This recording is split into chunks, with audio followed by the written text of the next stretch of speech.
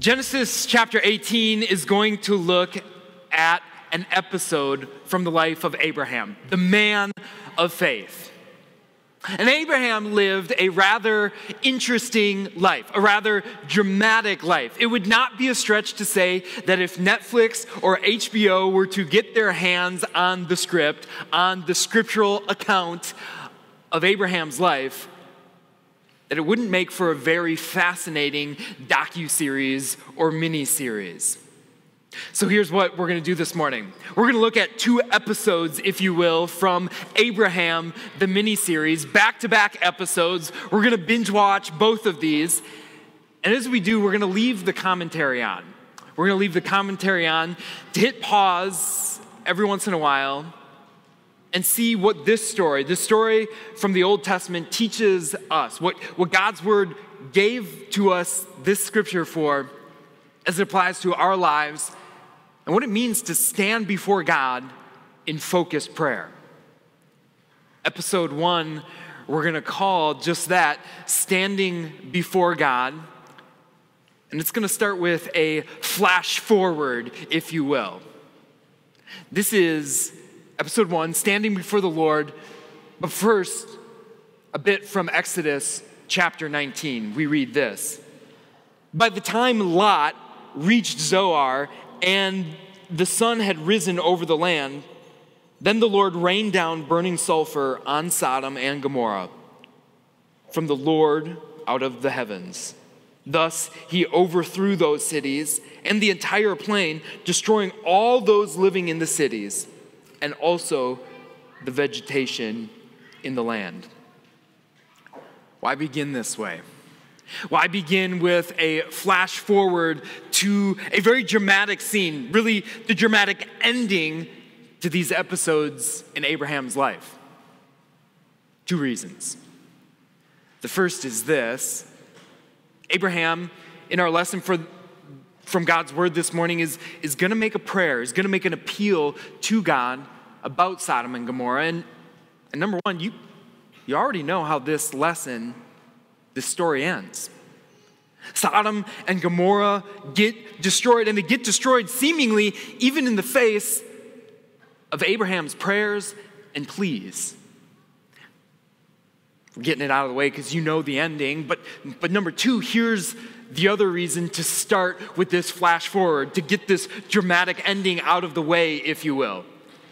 It's because although this gets a lot of press, after all, for an audience, for a culture that's obsessed with dramatic endings, you know, God's judgment, sulfur, fire raining down from the heavens, it's easy to see why, well, this gets a lot of press, this gets a lot of attention. But this isn't the most dramatic part of the story. This isn't the focus of why God has included these episodes in His Word. What comes before is the focus. Everything that leads up to this moment, what happened to get there, that's what God wants us to focus on. If this is the flash forward, how this episode begins, what would come next on the screen is a, is a flash that says 16 hours earlier. And then we read this Genesis chapter 18, beginning at verse 16. When the men got up to leave, they looked down toward Sodom, and Abraham walked along with them to see them on their way. Then the Lord said, Shall I hide from Abraham what I am about to do? Abraham will surely become a great and powerful nation, and all nations on earth will be blessed through him. For I have chosen him so that he will direct his children and his household after him to keep the way of the Lord by doing what is right and just, so that the Lord will bring about for Abraham what he has promised him. Then the Lord said, The outcry against Sodom and Gomorrah is so great and their sin so grievous that I will go down to see if what they have done is as bad as the outcry that has reached me. If not, I will know. The men turned away and went toward Sodom, but Abraham remained standing before the Lord. This is the word of God so far. It's brilliant writing, really, on the part of the Holy Spirit. He could have done another flashback at this point to show you everything that had led up to this moment. But instead, what the Holy Spirit does, He lets you in on the will, the mind of God, a conversation that the triune God is having with Himself about the goings on on earth. He says, Am, am I going to really hide this, what I'm about to do from Abraham? Abraham, the one that I have made a promise, a covenant to. And then this is, this is the really cool part where he does give us a little flashback. He tells us all about the promise, the covenant that he made with Abraham. You know what that promise was? It was that Abraham would have a son with Sarah, even in their old age. But the promise was greater than that. The promise was that all nations, all nations on earth will be blessed through Abraham. How could that be? It's because this was a promise of a Savior, a Savior to come through the line of Abraham that would save all people from their sin, that would rescue everybody, including Abraham, from their sin. This was the gospel that the Lord spoke to Abraham, and it worked faith in Abraham's heart, even as it carried out his very salvation. Bit of a flashback from the Holy Spirit Let's ask this why was the Lord even there with Abraham? Why was the Lord and two angels, the men, sitting with Abraham at his tent in the first place? Well, here's where we do need to do a flashback. Abraham got that promise from the Lord multiple times in multiple years before this moment. And yet, Sarah and Abraham were increasing in age. They were getting old, and they looked at one another and said, we can't even have children at this age in our life. How, how is it that the Lord is going to bless us with a child and the Savior is going to come from, from us? Sarah thought about it and it, it, didn't add up. It didn't make any sense. It was, it was too unbelievable. It was, it was too unnatural. So Sarah said, You know what? I'm going to take matters into my own hands. It's going to be hard, but Abraham, here is my younger servant, Egyptian maidservant. What? Just sleep with her, have a child with her. And now, maybe in that way, that's how the Lord's going to bring this about. What does Moses or what does Abraham say? No, Sarah, I can't mistrust the Lord and his promises. I can't take matters into my own hands. And I, I can't break the sixth commandment and sleep with someone who's not my wife. Now, Abraham doesn't say that. Sarah says to Abraham, Why don't you sleep with my younger Egyptian maidservant? Abraham goes, Okay, and does. That's why the Lord's here.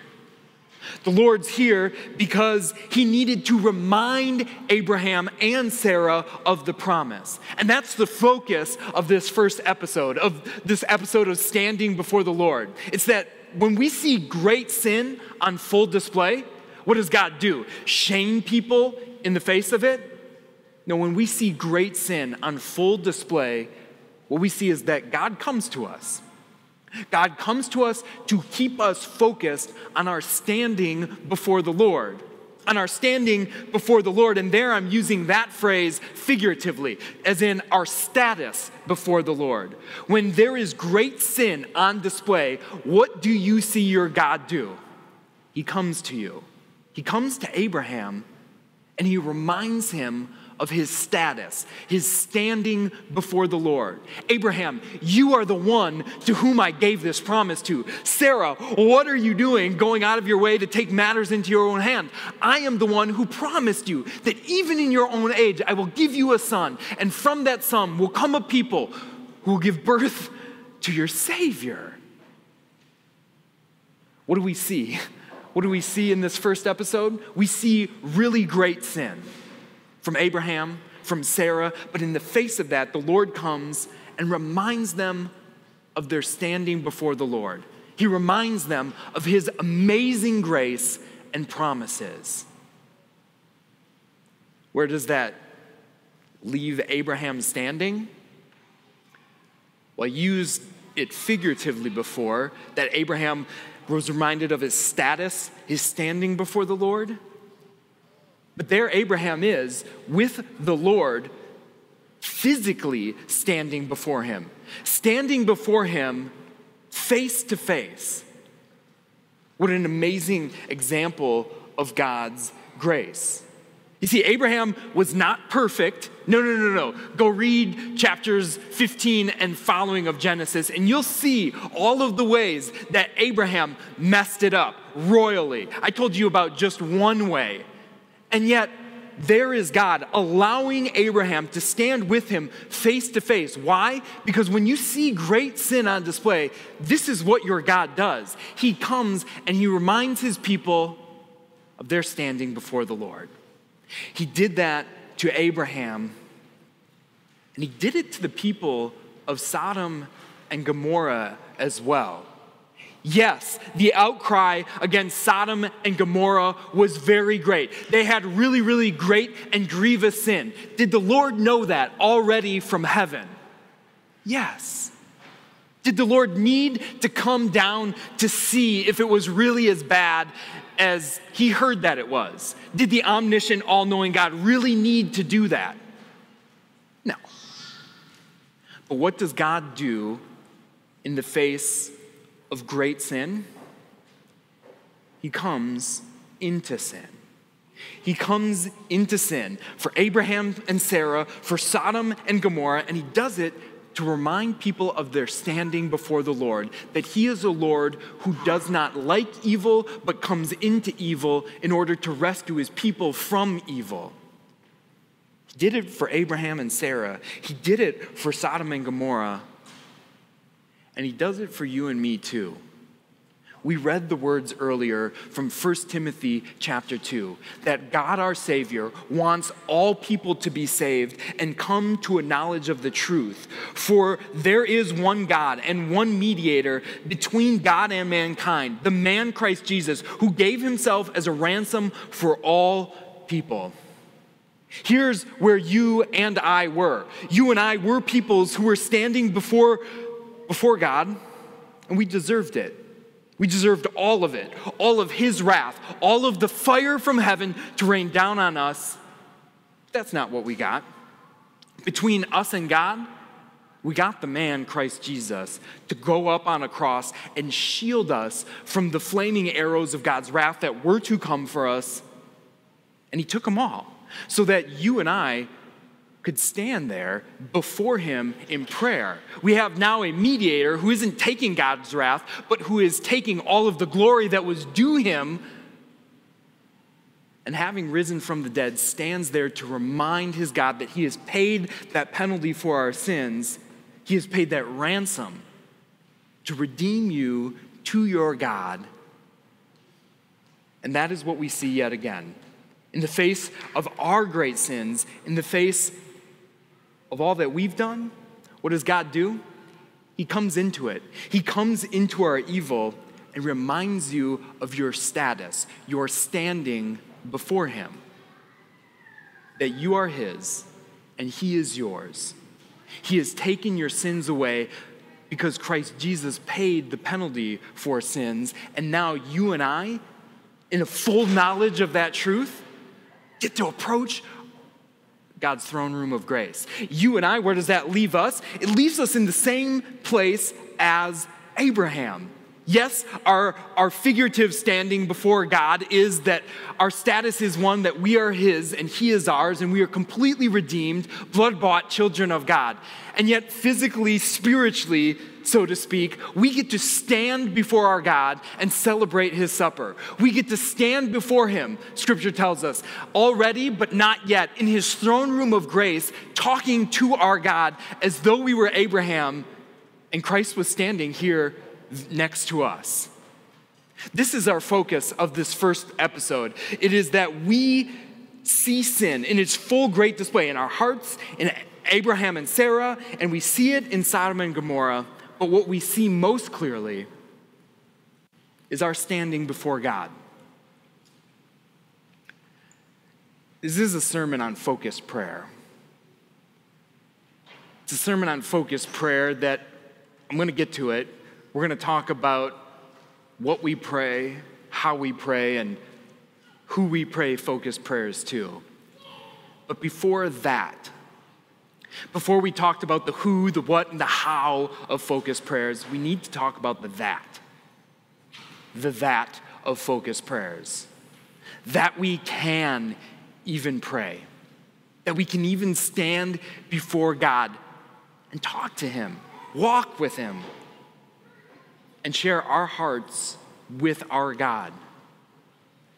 That's the point of episode one. Episode one, standing before the Lord, leaves us with the scene of Sodom and Gomorrah. It takes us back to what happened to even have the Lord come down to Sodom and Gomorrah, but not just them, Abraham and Sarah as well. And it leaves us there. It leaves us standing before the Lord. And here in episode two, called Focus Prayer, where we're going to see just that.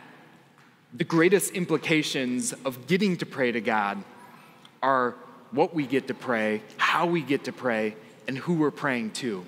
Genesis chapter 18 continues, verse 22. The men turned away and went toward Sodom, but Abraham remained standing before the Lord. Then Abraham approached God and said, Will you sweep away the righteous with the wicked? What if there were 50 righteous people in the city? Will you really sweep it away and not spare the, pl- the place for the sake of the 50 righteous people in it? Far be it from you to do such a thing, to kill the righteous with the wicked, treating the righteous and the wicked alike. Far be it from you. Will not the judge of all the earth do right? This is God's word. Oh, wait. The Lord said, If I find 50 righteous people in the city of Sodom, I will spare the whole place for their sake. This is the word of God. Think for a moment about the past episodes in Abraham's life. Think about all of the things that he could have prayed for. He could have prayed for a safe birth for his elderly wife. He could have prayed for maybe a sign that God, you said that Sarah would have a child, but come on, things look a little unbelievable here. Could you give us a sign? He could have prayed for that what happened with the Egyptian maidservant and Abraham and Sarah is well, a child did come out of that, and it was kind of an awkward family situation. Abraham could have prayed about that, that God smooth all that over. But he didn't. Abraham didn't pray about any of that for himself. What we see here in this focused prayer by Abraham, the man of faith, is a prayer for others. It's not even a prayer, hey, to save my nephew Lot and his family and, and all his relatives who live in the city. No, he prays for others, other people, but he does so, did you catch it? According to the character, according to the will of who God is. God, who wants all people to be saved, Abraham knows this and he says, Will you, the judge of the world, really judge in this way? Will you really do something that is contrary to your nature, to your will? Will you really get rid of the righteous people when you want to save all the people? That's Abraham's prayer to God. And that's our first focus on this. What do we pray for? We're asking that question. Focus prayers pray for what God wants for us and not just what we want from Him. Think about your prayer life. Oftentimes, prayers come easy, don't they? We want something from God, so we ask. We hurt, we're in pain, so we cry out. We're frustrated, so we vent to God. And then we get stuff. We're, we're blessed, and so we thank God. Those are perfectly wonderful prayers, and God says we can and should pray about all things. Prayer comes easily, it comes even naturally for Christians. So often we say our prayers come from our hearts, right? Think for a moment about your heart. Naturally, what do we know about our hearts? That they don't want the things that God wants that our hearts aren't automatically aligned with God's will, but our hearts are, in fact, bent inward on us. They're turned in on what our selfish pride desires. And so, is it wrong to pray for things we want, things we need, or just to vent to our God? No, but for a moment, ask yourself can those prayers become selfish and in that way sinful? The truth is, we need help focusing our prayers on the things that God wants us to pray for. And that is why it's so remarkable that we can pray the prayer that Jesus' disciples prayed with him. They can pray the prayer that said, Lord, teach us to pray. I'm skipping ahead too far. We can say, Lord, teach us how to pray. Because, like them, we don't know how to pray. We don't know how to pray focused prayers that are about things that our Lord wants all the time. I challenge you to do this. Go back and, and look at the Lord's Prayer in Luke 11, or listen and think about it as we pray it later today in our worship service. What are the things that the Lord Himself taught us to pray for? They're the matters of His heart, they're the whole breadth of God's will. That God's kingdom matters, and it and it should come. That we have sins and we need forgiveness, and other people sin against us, and, and we need to share that. That we live in a spiritual war, and we don't want to be led into temptations and, and battles we can't handle, but we need God. We need the Holy Spirit to strengthen us in that. This is what God's will is. And, and when his disciples said, Lord, what should we pray for? This is it. He teaches them to pray for things not that, that we want, but for the things that He wants for us. Can I teach you perhaps the single biggest change or revelatory thing about prayers that someone has taught me? It's the idea that we don't have to come up with the words to pray. I learned that embarrassingly late in my life that we don't have to come up with the words to pray you think about that, that's how Christian culture so often makes it to seem that we have to conjure up these, these beautiful prayers to our God. And, and don't we, we kind of extol people and really like put people up on a pedestal who can say really, really flowery and fancy prayers? But we don't have to come up with the words to pray. That's not how our God taught us to pray. Our God taught us to pray by simply reciting the words that He's already given us. Let me say that again. God taught us to pray simply by reciting the words that He's already given us. We don't have to make up our prayers to God, but in fact, He's given us the things to pray for that we already want. And we can do that by just opening up His Word and, and speaking those back to Him. Can we just use an example of it from our other scripture re- reading this morning? We read 1 Timothy chapter 2. Can I show you how we can just pray this back to God? Can we pray this prayer together right now in worship? God's word back to him in 1 Timothy chapter 2. Would you join me? We'll say this God, our Savior, we come before your throne with hope and joy, knowing that you want everyone to be saved and then you want everyone to know your truth. We praise you, Lord, that we can step before your throne and pray to you, and it's because of Jesus, the man Christ Jesus, who gave himself as a ransom for us, that we can even come before you and make these requests, and so we do. We pray, Lord, that you use us. You use us to share the knowledge of your truth to everyone so that all people might be saved. We thank you for the gift of prayer, and we thank you for the gift of sharing this good news with others. Amen. That's simply what God wants us to pray because that is what God has showed us about His will in Scripture. Here's our first takeaway from the first episode it's that we don't need to make up the things to pray for. What are focus prayers? Well, focus prayers pray for what God wants for us and not what we want from Him. We continue on with the second thing that God teaches us about focused prayers, and that's, that's how we pray. Genesis chapter 18. Abraham continues talking to God and he, and he speaks again. Now that I have been so bold as to speak to the Lord, though I'm nothing but dust and ashes, what if the number of the righteous is five less than 50? Will you destroy the whole city for a lack of five people? If I find 45 there, God said, I will not destroy it. Once again, Abraham spoke to him, What if only 40 are found there?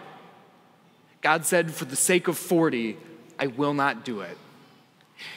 Here's our second lesson from the second episode. How do we pray? Focused prayers are prayed persistently, they're prayed confidently, and in true humility. Those are focused prayers. They are prayed with persistence, they are prayed with confidence, and also humility. Can I go back to our gospel lesson? Think about this. Jesus teaches his disciples how to pray the Lord's Prayer. And then he doesn't just stop there, but what does he do? He gives them an illustration. He gives them a story to give them an example of how he wants them to pray the Lord's Prayer. Did you catch it? It doesn't really make too much sense for us because we don't often have people coming to ask for three loaves of bread in the middle of the night. But he gave the story of a friend who goes to another friend and in the middle of the night begs him again and again to give him bread, even though he said, Dude, I'm already in bed, my door's already locked. What can you, what can you and I compare this to? Well, it's the coworker who emails you again and again while you're on vacation or on your day off and asks you again and again to give you that document. Or maybe it's the family member who, who calls you and then calls you and then calls you again and again just to say, hey, can you get more bananas from the store? And you think, oh my goodness, it's an emergency, but they're persistent. And so they get through to you. Or maybe, or maybe it's the toddler who stands there before his parent and says, Mommy, mommy, mommy, mommy, mommy, and again and again shouts out to his mom. And when she finally turns to him and says, What? What do you want? He says, Oh, I just wanted to say hi. That's the example that Jesus gives. And it's not just of the persistence, he uses a word. He says it's shameless audacity that is the res- reason prayers are heard. It's not just because you love your, your coworker or your family member or your child that you respond to them, but why?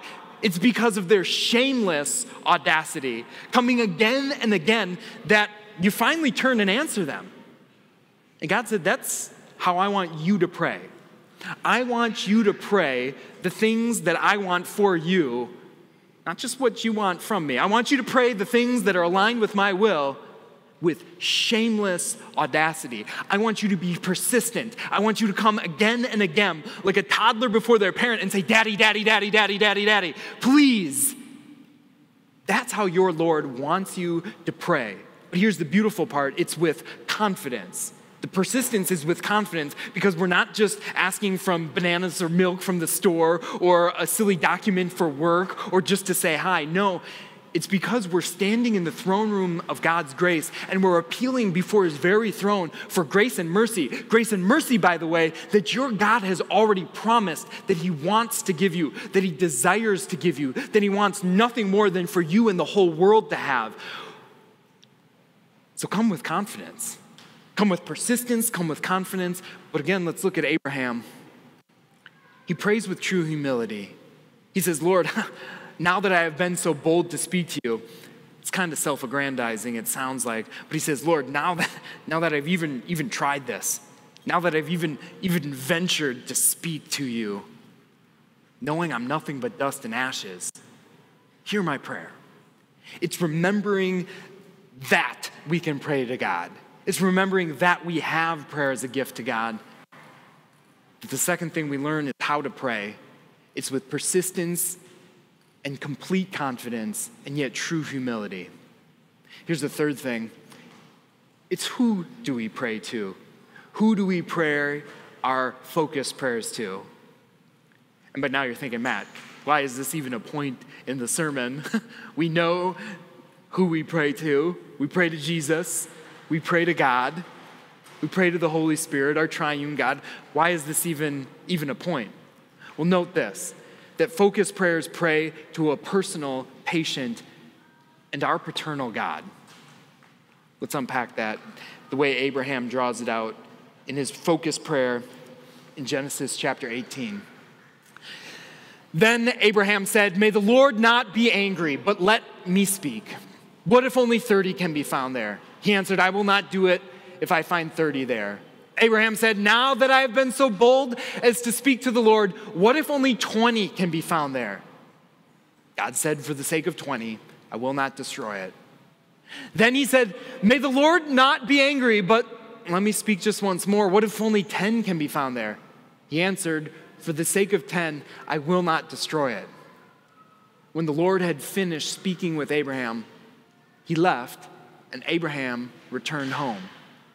This is God's word. Who do we pray to? When you watch an episode like this from the docu series on Abraham, it can be really easy to focus on Abraham and think, wow, this guy is awesome. This guy prays perfect focused prayers, prayers that are not selfishly aligned with his will, but are totally aligned with God's will. Wow, I, I don't even pray, much less do I pray like that. It can be really easy to look at Abraham and go, that is so impressive how he prayed persistently, yet confidently, and also humbly. When, when I pray, I'm never like that. It can be really easy to focus on Abraham, but God put this in here so that we focus on him and his response to Abraham's prayer and your prayers. You have a God who listens to your prayers who focuses on your prayers and does so in a personal way. What does God do again in the face of the most egregious sin? He comes to us. He comes to you. Your prayers are not some ethereal, pious throwing of words into the air and hope that God hears them. God, if you're really up there, please hear me. No, you pray to a personal God whom you stand before you stand before him as though you were already, but not yet in heaven, and there he hears you. This is not a God who is unfamiliar with what you go through, but this is a God who, when he sees sin, makes a habit of diving into sin and being there so that you remember you're standing always, that you are standing always before him. This is your God. He is a personal God and He is a patient God. He is a God who wants you to treat Him like a father. He wants you to come before Him and email Him on even His days off. He wants you to come again and again and say, Daddy, Daddy, Daddy, Daddy, please. Because He cares that much. And He's never, like maybe a worldly parent, going to get impatient or frustrated with you, but always hear you. And finally, he, he's a paternal or a caring God. Look at what Luke 11 says about how we should pray. This is, again, Jesus giving an example of how we should pray to him. He asks the question Which of you fathers, if your son asks for a fish, will give him a snake instead? Or if he asks for an egg, will give him a scorpion? If you then, though you are evil, know how to give good gifts to your children, how much more will your Father in heaven give the Holy Spirit to those who ask him. This is how your Father wants you to picture him.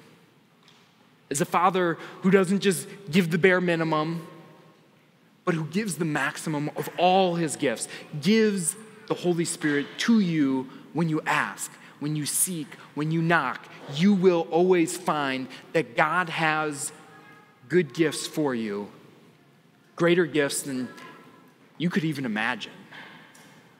That's what happened here. It's, all, it's easy to look at the ending of this story, to see sin at its worst, to see sin destroyed, to even look at both episodes and say, God, you, you listened to Abraham's prayer, but it seems like you didn't even hear him. You still destroyed Sodom and Gomorrah, completely wiped off all the people, all the plants. But did you note that God answered this prayer and gave him something even greater than, than Abraham, the bold, persistent prayer, could even think of? God did something even greater. He didn't, he didn't just save 10 people, no, he, God doubled down on his own grace, and he saved only three that were there. How does episode two end? Well, it doesn't end with this. It ends with Abraham back standing before the Lord. And here's what it says Early the next morning, Abraham got up and returned to the place where he stood before the Lord. He looked down and he saw Sodom and Gomorrah toward all the land of the plain, and he saw dense smoke rising from the land, like smoke from a furnace. So, when God destroyed the cities of the plain, he remembered Abraham, and he brought Lot out of the catastrophe that overthrew the cities where Lot had lived. This is God's word. What was it? Was it the, was it the foreordained holy will of God that, that saved Lot and his children? Or was it the prayer of Abraham, the faithful prayer of Abraham that prayed according to God's will, that prayed not according to his, but his will, what he wants for us, that prayed persistently, humbly, and confidently, that prayed in such a way that looked to God as our, as our Father? Is that what saved Lot? Or is it God already had this planned? Well, the answer is yes. The answer is yes, because that is the God that, that we have. People often say, if you can name it, you can claim it. The truth is far greater than that false idea. The truth is that even when you can't name it, even when you don't know what to pray to your God about, that you have a God who interprets the groans and the prayers, whether they're focused or totally lack focus, on our behalf and brings them before the throne of God's grace and gives us better things than we could even ask or imagine. In Jesus' name, amen.